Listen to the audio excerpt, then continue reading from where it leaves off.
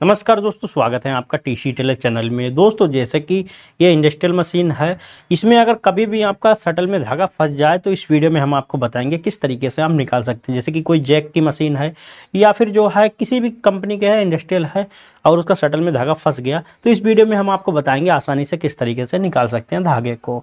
तो किस तरीके से निकालना होता है, क्या तरीका आता है, वो इस वीडियो में हम आपको बताएँगे। बिना मशीन को खोले मतलब मशीन में कुछ भी छेड़छाड़ नहीं करना है और आसानी से आपको निकाल लेना है धागा। तो कैसे निकलेगा, चलिए हम आपको बताते हैं। तो वीडियो पसंद आए, वीडियो को लाइक करें, शेयर करें। चैनल पर पहली बार आए, सब्सक्राइब कर बेल आइकन आल पर ज़रूर क्लिक कर लें। तो चलिए दोस्तों, वीडियो को शुरू करते हैं। तो दोस्तों, जैसे कि ये मशीन है, इसको हम पलट लेते हैं, उसके बाद ही हमारा धागा निकलेगा, क्योंकि ऊपर से हम धागे को नहीं निकालेंगे। इस तरीके से आपको मशीन को पलट लेना है।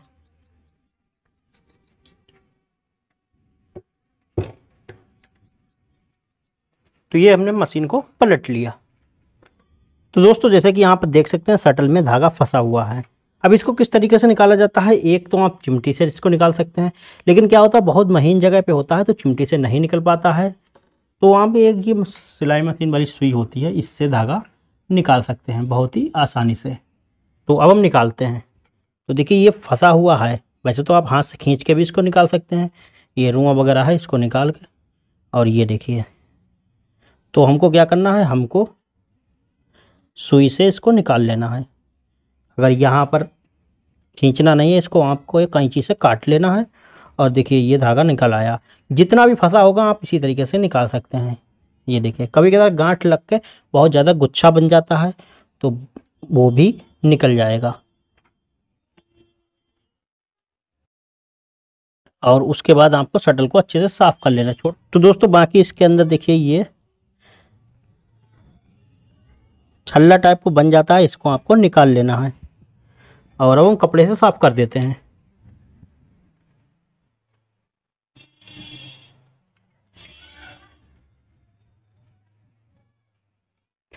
बाकी इसको अच्छे से साफ़ कर लेना है।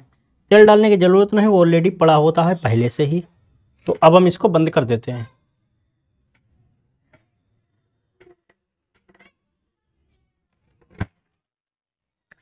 तो दोस्तों, जैसे कि अगर आप बोबिन भर रहे हैं इंडस्ट्रियल मशीन से, अगर आप नए हैं तो एक चीज़ का ध्यान रखें, इसका जो बूट है, देखिए इसका जो बूट है, वो आपको उठा लेना है इस तरीके से। इसको उठाने का एक और तरीका है, जैसे कि नीचे घुटने से बूट उठाया, ये उठ गया। और उसके बाद जो है ये फ्री हो जाता है तो इसको आप ऐसे करके रख सकते हैं। अब इसके बाद आपको बोबिन भरना है।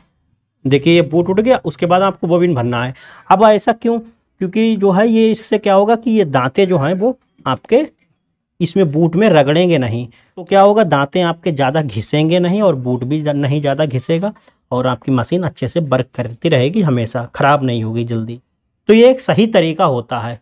क्योंकि नए लोगों को ये चीज़ें नहीं मालूम होती हैं तो मैं आपको बता देता हूँ। उसके बाद हम बोबिन भर सकते हैं।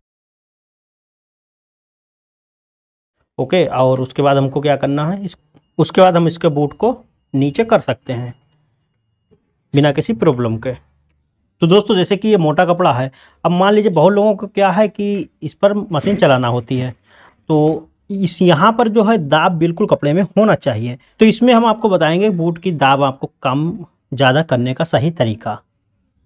ठीक है, ये होता है बूट को कम ज़्यादा करने का तरीका। ये है। इसमें क्या है, अगर आपका मान लीजिए मोटे कपड़े पे आप चला रहे हैं तो आप दाब को बढ़ा सकते हैं यहाँ से। और पतला कपड़ा है, महीन है तो नॉर्मली इतनी आपको रख लेना है। इतना ही रखना है जितना ही है। पहले से जितना हो अपनी मशीन में, उतना ही रखना है। इसको कम ज़्यादा करने का मैं आपको तरीका बताता हूँ, बाकी आप चाहें तो आप कर सकते हैं, चाहें तो ना। इसको देखिए, अगर इस तरीके से आप इसको बढ़ाएँगे दाब को तो ये नहीं बढ़ेगी। सबसे पहले हमको क्या करना होता है, इसके पहिए को, इसको लूज कर लेना है। जितनी भी दाब बढ़ाना हो, उसके बाद इसको हम टाइट कर देंगे। देखिए। थोड़ी सी हमको बढ़ाना थी, बस उसके बाद जो है, इसको हमको टाइट कर देना है। और अब हम चलाते हैं। अब हम मशीन को चलाते हैं। इससे क्या होता है, मशीन हमारी धागा नहीं काटती है और अच्छे से वर्क करती है। मोटे कपड़े पे। थोड़ी सी दाब की ज़रूरत होती है।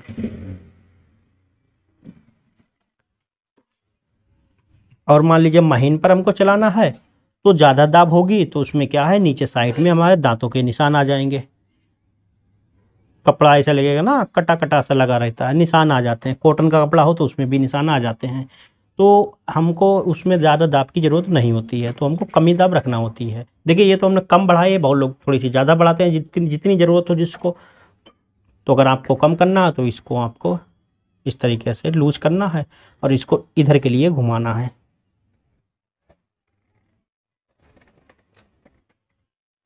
उसके बाद हमको इसको टाइट कर देना है।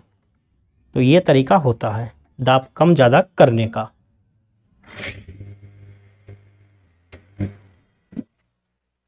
जब आप दाब को कम करेंगे तो आपके घुटने पे आप जब बूट उठाएँगे घुटने से तो आपके घुटने पे ऐसा लगेगा जैसे ना बहुत ही फ्री हो गया हो।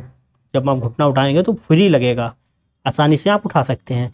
और जब आपकी दाब ज़्यादा करेंगे तो बूट की, उसके बाद जब घुटना उठाएँगे बूट को घुटने से तो आपको ऐसा लगेगा बहुत थोड़ा सा टाइट क्योंकि फिर दाब बढ़ जाती है तो इसलिए। तो इससे आपको ये पता चल जाएगा कितनी दाब हमारी बढ़ी हुई है या कितनी कम है। ज़्यादा दाब बहुत ज़्यादा है तो घुटने से जब आप उठाएँगे बूट को तो बहुत ही आपको थोड़ा सा ताकत लगाना पड़ेगी। बार बार इस तरीके से। और नॉर्मल होगा तो आपको ताकत ज़्यादा नहीं लगाना पड़ेगी।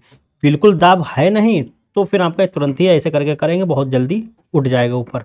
और कप, जब आप सिलाई लगाएँगे तो वो इधर उधर कपड़ा भी हिलेगा। तो वो, उससे क्या होता है, उससे हमारी सीधी सिलाई नहीं आती है। तो नॉर्मल रहना चाहिए। तो उम्मीद करता हूँ दोस्तों, ये वीडियो आपको अच्छा लगा होगा। वीडियो अच्छा लगा हो, वीडियो को लाइक करें, शेयर करें। चैनल पे पहली बार आए, सब्सक्राइब कर बेल आइकन आल पे ज़रूर क्लिक कर लें। मिलते हैं नए वीडियो के साथ, तब तक के लिए नमस्कार।